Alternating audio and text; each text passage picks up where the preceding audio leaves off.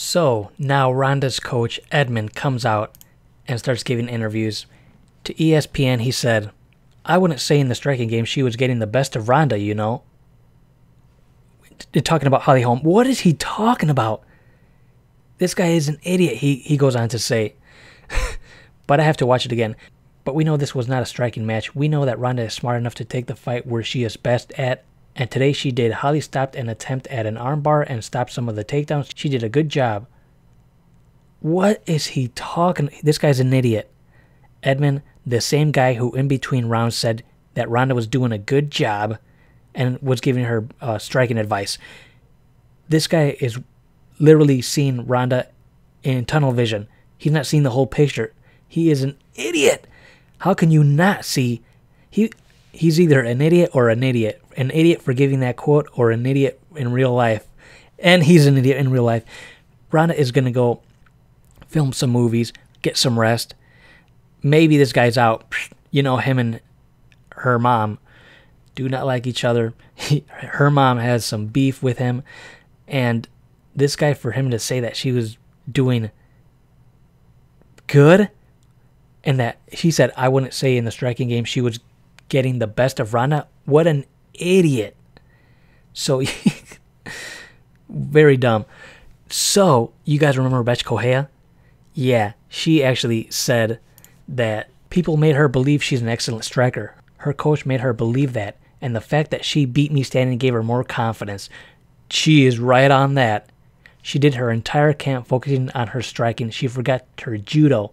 It doesn't matter if you're born on a judo mat. If you only train boxing, you're going to box. It's automatic. You do what you train. She's making a lot of sense, but then she goes on to say, I was cheering for Holly. Ronda never had anything special, in my opinion. What is she talking about? This is where she starts, you know, digging. She starts digging.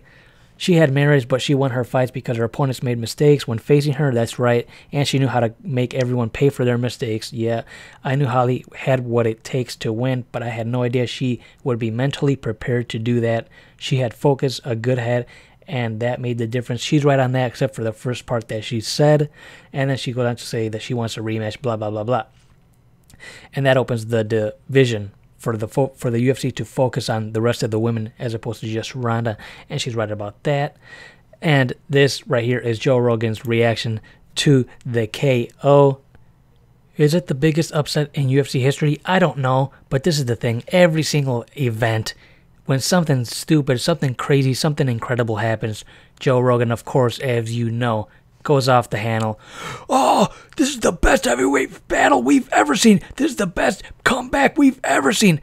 Ever seen. Ever seen. Every every single event, something crazy happens. Oh, that's the best comeback. That's the best submission. That's the best knockout. That's the best. This, this, this, this, this.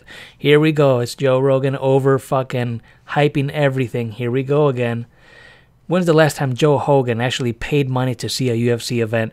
You remember when he was saying, if you're in the mat and you can't get up, tough shit. You shouldn't have to depend on the referee. Joe Dumbass Rogan, when's the last time you paid money to see a UFC event? People don't pay money to see somebody that's stealing rounds, that's a round winner and not a true fighter. He doesn't know shit about marketing. He doesn't know shit about that. But he's learning. He's learning that, hey, you dumb shit, just because you're the second best fighter in the world does not mean you're going to fight the number one fighter in the world. It's all about marketing. UFC is a business. Joe Dumbass Rogan is now realizing that, especially with the Miesha Tate situation. But anyway, and even Jon Jones jumped in on the quote bandwagon. He said, I know the MMA community doesn't really know Holly yet, so let me be the first to tell you she is the most classy and down to earth athlete I've ever had the pleasure to be around. She is the longtime pride of Albuquerque, New Mexico, not only because of the way she competes, but the way she treats each and every individual that has the opportunity of meeting her, which is the complete.